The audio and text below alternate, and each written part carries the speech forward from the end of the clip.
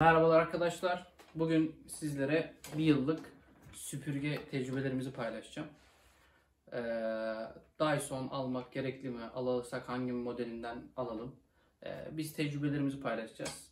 Artık karar vermek size kalmış. Öncesinde bizim e, uzun senelerdir, iki senedir neredeyse kullandığımız bir robot süpürge var.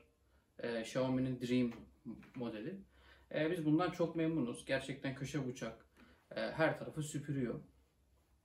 E, Onun yanında tabii kablolu elektrikli süpürge kullanıyorduk. E, Ondan sonra o biraz eskimesiyle ve zor gelmesiyle birlikte e, Dyson almaya karar verdik.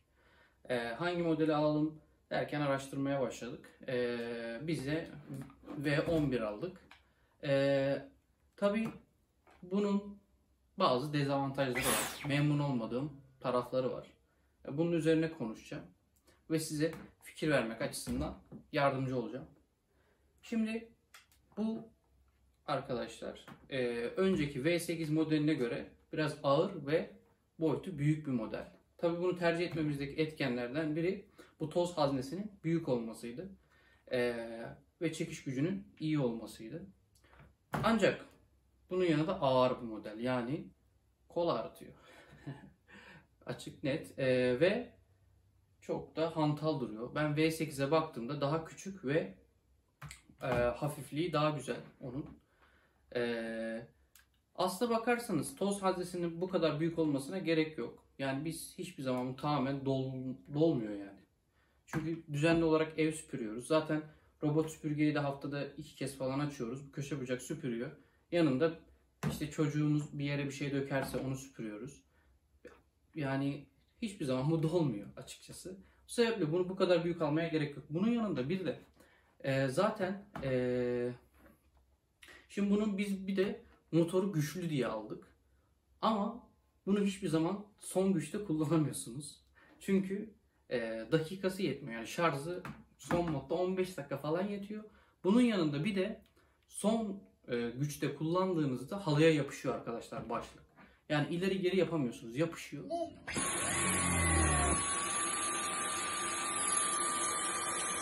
Geri geri yap.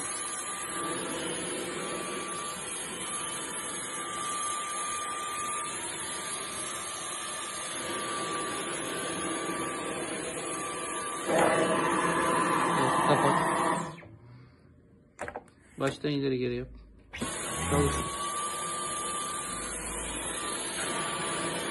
O sebeple biz bunu eee Dyson desteğe yazdık. Dediler ki bize eee, bunu en düşük modda kullanırsanız yapışmaz. Ya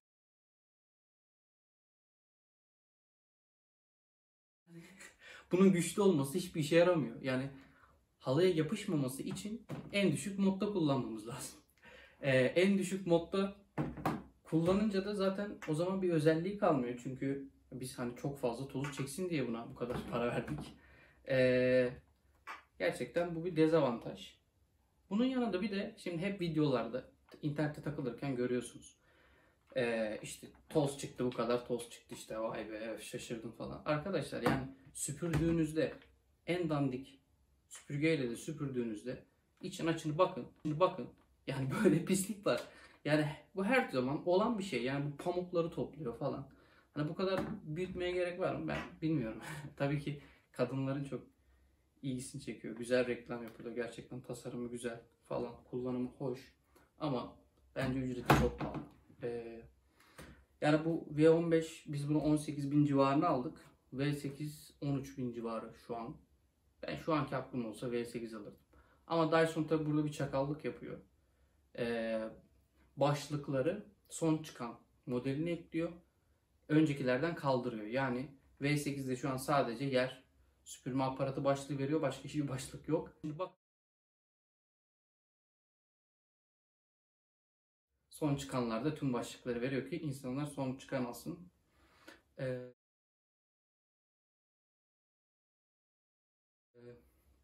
yani bu şekilde eğer evinizde bir robot süpürgeniz varsa bence e, o kadar para verip son model Dyson e, almanıza gerek yok.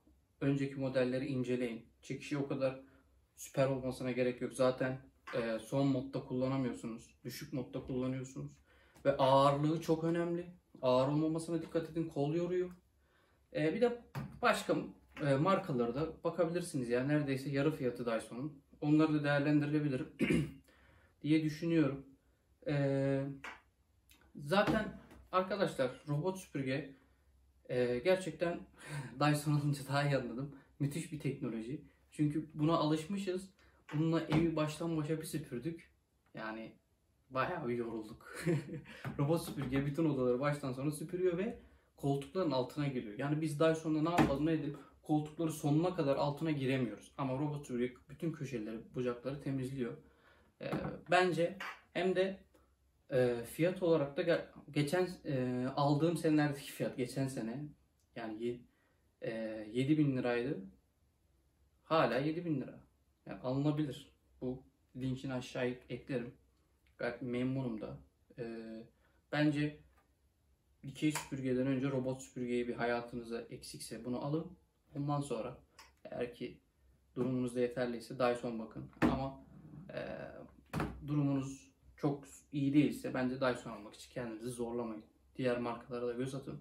Çünkü bu gerçekten fazla reklam yapıldığı için insanlar kendilerini zorlayarak alıyor ama e, ya tabii kadınların yorum farklı olur ama erkek kafasıyla o kadar da e, yani kesinlikle alın işte müthiş falan diyemem. Yani yarı fiyattan olsaydı derdim.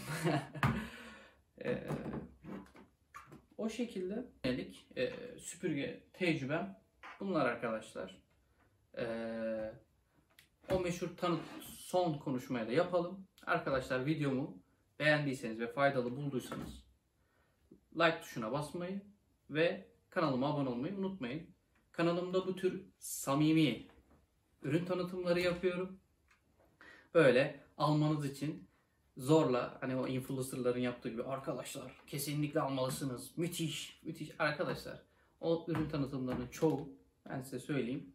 Ee, ücretli ürün tanıtımı. Bu internette gördüğünüz %90'ı.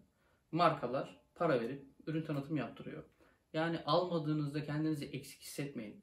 en çok bayan arkadaşlar için konuşuyorum. Arkadaşlar öyle bir tanıtımlar yapıyorlar ki yani bunu almazsan bir kolun eksikmiş gibi. Hayır arkadaş ya. Philips de güzel. Onu alabilirsin. Neyse. Diyeceklerim bu kadar. Ee, kanalıma abone olabilirsiniz. Hadi kalın sağlıcakla.